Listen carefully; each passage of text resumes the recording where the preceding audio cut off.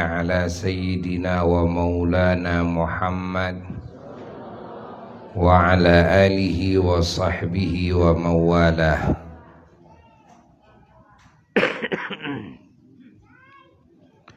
ولا حول ولا قوة إلا بالله. أما بعد فيا عباد الله أوصيكم ونفسي بتقوى الله. فقد فاز المتقون. Para jamaah yang mulia dan segenap muslimin muslimat di mana pun berada rahimakumullah Alhamdulillah di sore hari ini kita dikumpulkan kembali oleh Allah dalam majelis ilmunya, dalam majelis zikir kepadanya. Majelis doa, majelis silaturahmi. Majelis anugerah-anugerah Allah yang sangat besar di mana kita besar harapan mendapatkan anugerah-anugerah Allah tersebut sehingga hidup kita di dunia ini penuh dengan ridhonya. Dan ketika kita kembali kepadanya kita kembali dengan petunjuknya. Kita kembali dalam kasih sayangnya. Kita kembali dalam kecintaannya. Kita kembali dalam kerinduannya kita kembali dalam ampunannya dan di alam kubur kita punya harapan bisa mendapatkan kebahagiaan. Dan ketika kita bangkit dari alam kubur, kelak yaumal kiamah kita bisa punya harapan mendapatkan kebahagiaan pula di sana. Dan kita punya harapan bisa berkumpul dengan Nabi kita Sayyiduna wa Maulana Muhammad sallallahu alaihi wasallam di bawah benderanya bersama para nabi, para rasul alaihi wassalatu wassalam bersama para wali, para ulama, para syuhada, para salihin radhiyallahu anhum ajma'in. Dan kita punya harapan bisa masuk ke wilayah dan naunya Rasulullah sallallahu alaihi wasallam dan punya harapan bisa minum dari danau beliau. Dan kita juga punya harapan mendapatkan syafaat pertolongan dari junjungan alam Kangjeng Nabi Muhammad sallallahu alaihi wa alihi wasallam dan punya harapan kita masuk surga selamat dari api neraka. Para jemaah yang mulia, harapan ini tentu milik setiap orang yang beriman. Namun besar dan kecilnya harapan itu ditentukan dengan ketaatan dan ketidaktaatan kita kepada Allah. Kepada baginda Rasulullah sallallahu alaihi wasallam. Sekali lagi harapan adalah milik setiap orang yang beriman namun besar dan kecilnya harapan tergantung ketaatannya dan ketidaktaatannya kepada Allah dan kepada baginda Rasulullah sallallahu alaihi wasallam. jika kita taat maka harapan akan semakin besar. Jika kita tidak taat tentu harapan ada namun sangat kecil sekali.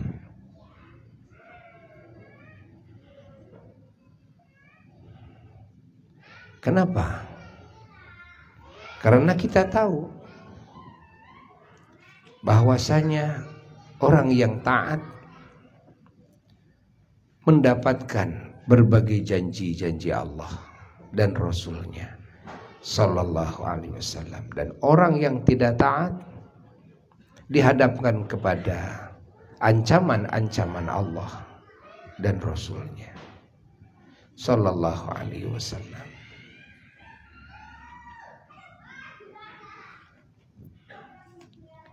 Maka jika kita besar harapan di saat kita berhadapan dengan ancaman, maka besarnya harapan adalah tipuan.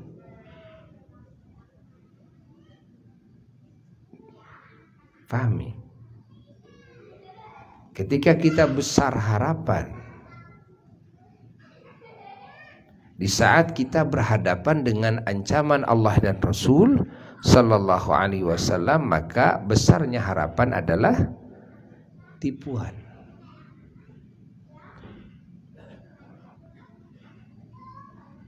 Kita berharap masuk surga. Harapan kita besar. Namun dalam kehidupan di dunia kita tidak taat kepada Allah.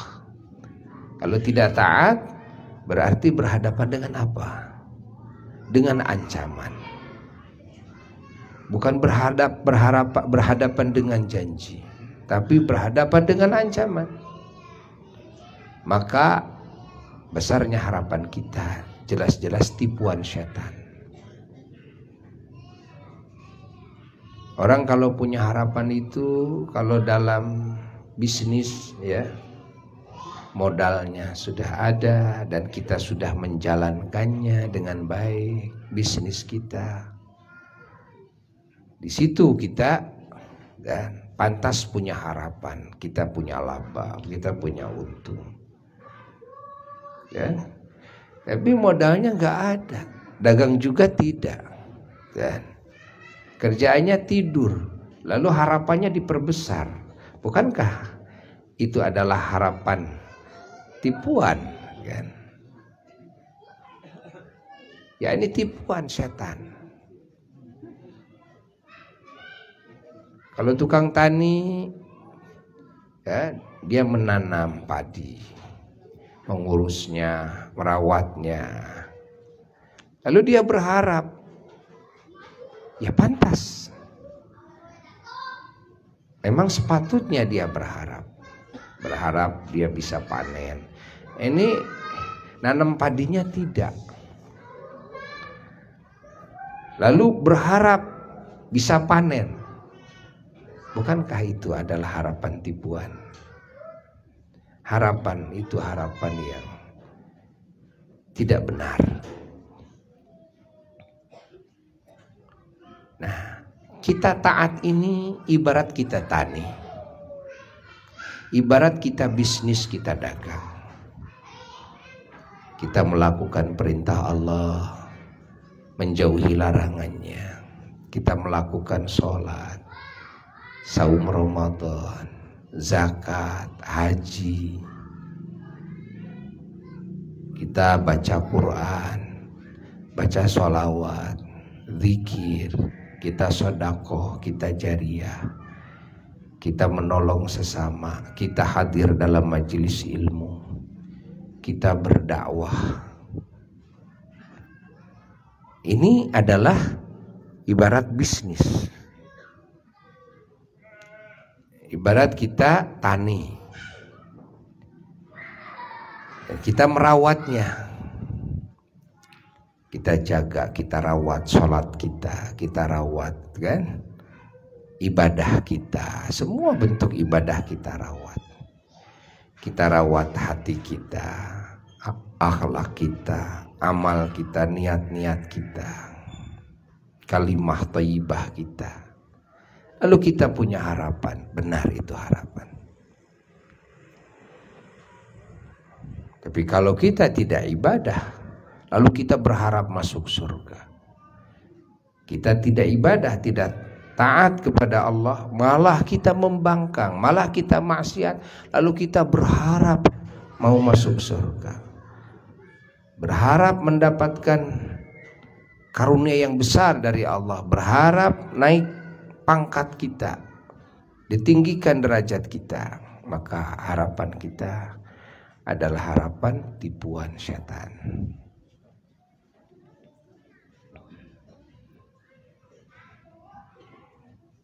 Maka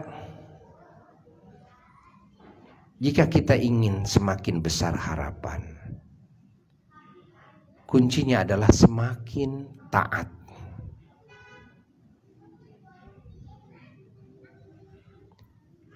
Semakin diperbagus ibadah kita.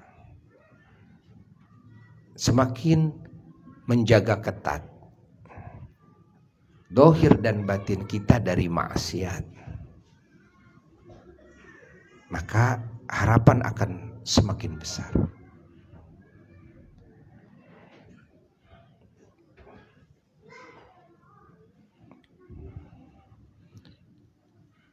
Orang-orang soleh dengan menggencarkan ibadahnya kepada Allah, ketakwaannya kepada Allah.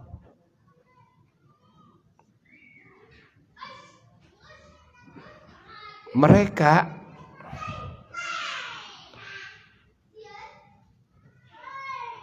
punya harapan yang besar. Namun di sisi lain mereka juga merasa takut yang sangat besar. Itulah orang-orang yang mulia, sudah menanam, dirawat dengan baik, diobati, ya, dijaga tanamannya dengan baik. Malah mereka sudah merasakan tanda-tandanya kelihatan ya. bunga-bunganya kelihatan bunga keberhasilan kelihatan tentu harapan ada namun di sisi lain ada rasa takut dalam dirinya. Takut apa? Takut datang hama di waktu yang tidak diketahui. Dalam situasi kondisi yang tidak diduga. Takut datang angin puting beliung ya. takut datang banjir dan itu ternyata terjadi sewaktu-waktu orang yang sudah optimis tanamannya akan dipanen keuntungannya sudah di depan mata. Tiba-tiba kan ada angin puting beliung yang menghancurkannya. Ada banjir yang menghancurkannya, ada hama yang menghancurkannya, ada tikus yang menghancurkannya. Sehingga apa yang diduga dan besarnya harapan hancur luluh lantas sia-sia. Itulah yang dikhawatirkan oleh orang-orang soleh. Itulah akhlak yang mulia amal ibadah betul-betul dijalankan sebaik-baiknya. Jiwa raga dijaga ketat dari maksiat. Ikhlas terus dibangun dalam hati dalam ketaatan kepada Allah. Hati selalu hadir kepada Allah. Namun rasa takut juga besar. Sehingga dengan rasa takut itu maka muncullah doa di setiap saat memohon perlindungan kepada Allah dari godaan setan, memohon perlindungan kepada Allah dari segala hal yang menghancurkan harapan, yang mensirnakan cita-cita.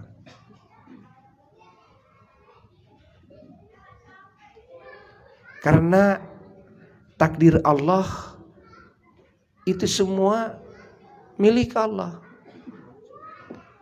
Kehendak Allah tidak bisa diintervensi oleh makhluk. Kalau Allah menghendaki manusia kufur dalam perjalanan keimanannya, siapa yang bisa menghalangi Allah? Kalau Allah menghendaki amal ibadah hambanya hancur lebur. Lalu Allah kehendaki dengan cara dia melakukan perbuatan yang bisa menghancurkan semua amalannya. Yang telah ia bangun. Siapa yang bisa menghalangi kehendak Allah? Makanya orang-orang soleh dalam kesungguhannya dalam ketaatan kepada Allah di sana ada rasa takut yang besar. Sehingga kerjaannya selalu berdoa kepada Allah minta pertolongan Allah minta kasih sayang Allah minta penjagaan dari Allah Itulah yang harus kita jalankan dalam hidup. Berjuanglah terus. Di sisa umur kita. Umur kita tidak akan lama. Akan ada saatnya kita mati akan ada saatnya kita kembali dari alam dunia yang fana ini. Walaupun entah kapan, entah di mana, entah sedang apa. Maka ketidaktahuan ini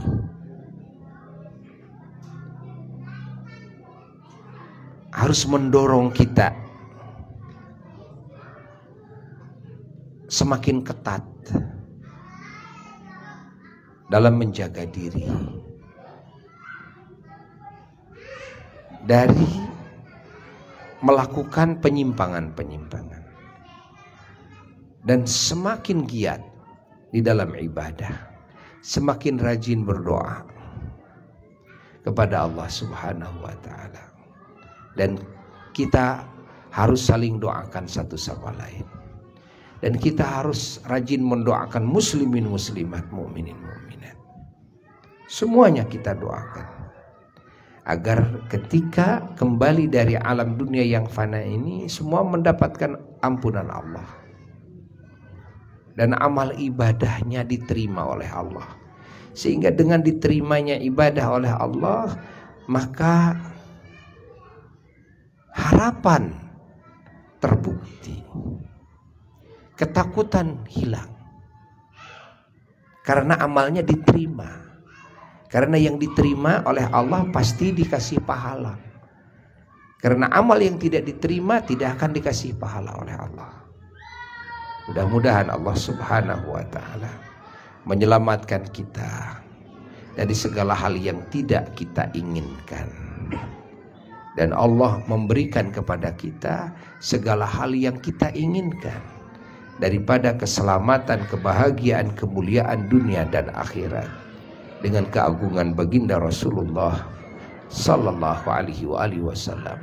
Semoga Allah mengabulkan segala hajat kita dan hajatnya orang-orang yang beriman kepada Allah, yang hajatnya diridhoi oleh Allah, yang hajatnya baik di sisi Allah, hajatnya orang-orang yang minta doa kepada kita, hajatnya muslimin muslimat, mukminin mukminat.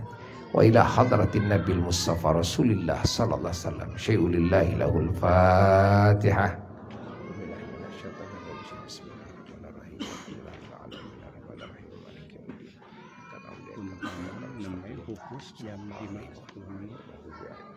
Amin. Inna lillahi wa inna ilaihi raji'un.